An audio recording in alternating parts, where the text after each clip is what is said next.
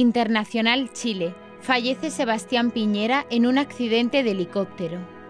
Sebastián Piñera, católico y presidente de Chile durante dos mandatos, falleció este martes en un accidente de helicóptero que tuvo lugar en las inmediaciones del sector Ilue en Lago Ranco, región de los ríos en el sur del país. Le acompañaban tres personas que sobrevivieron a la caída de la aeronave. El helicóptero, propiedad de Piñera, se precipitó al lago debido a las intensas lluvias y neblina. Era él quien pilotaba la aeronave y al parecer quedó atrapado al no poder quitarse el cinturón de seguridad.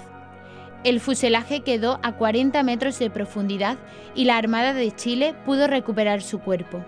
La Dirección General de Aeronáutica Civil explicó que el helicóptero cayó en torno a las 15.30 horas, apenas después de despegar en las inmediaciones del sector Ilue. Tras el despegue y después de unos pocos minutos de vuelo, capotó en el lugar con cuatro personas a bordo, entre los cuales iba el expresidente de la República, Sebastián Piñera Echenique, quien falleció en este lamentable accidente. El resto de los ocupantes de la nave logró sobrevivir gracias a Piñera, según los propios testimonios.